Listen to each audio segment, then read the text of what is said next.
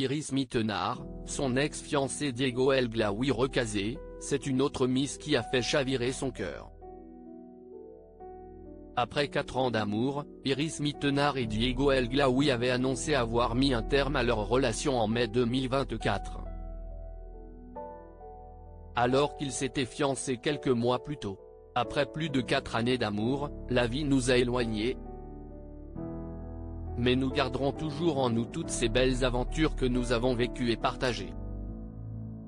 Nous vous demandons de bien vouloir respecter cette décision, et de l'accueillir avec autant de bienveillance que celle que nous avons l'un pour l'autre, avait ainsi écrit l'ancienne Miss Univers sur son compte Instagram.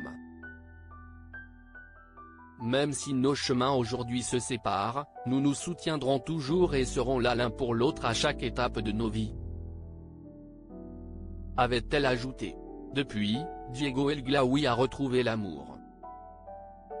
Alors que des rumeurs autour d'une possible relation avec une autre ancienne Miss faisaient rage, les doutes ont été levés.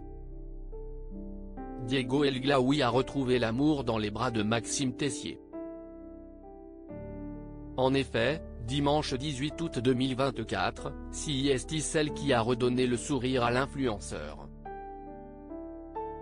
qui a officialisé leur relation. Une nouvelle fois, Diego El Glaoui semble être tombé sous le charme d'une reine de beauté.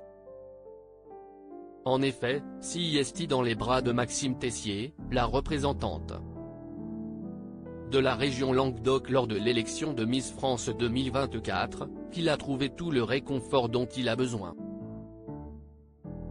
Sur son compte Instagram, celle qui s'était inclinée face à F. Couronnée Miss France 2024. A partagé quelques clichés d'elle aux côtés de l'ex-compagnon d'Iri Mittenard. Sur les photos, les tourtereaux semblent être plus complices et amoureux que jamais. Ils ont pris la pose, tout sourire, en train de s'enlacer devant un paysage marocain. En légende de cette série de photos, la jeune femme a simplement écrit ces deux mots maritimes.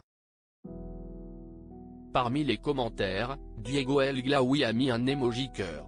À en croire les stories postées par la jeune femme dans les jours suivant cette publication. Les amoureux se sont envolés à Bali pour poursuivre leur belle romande.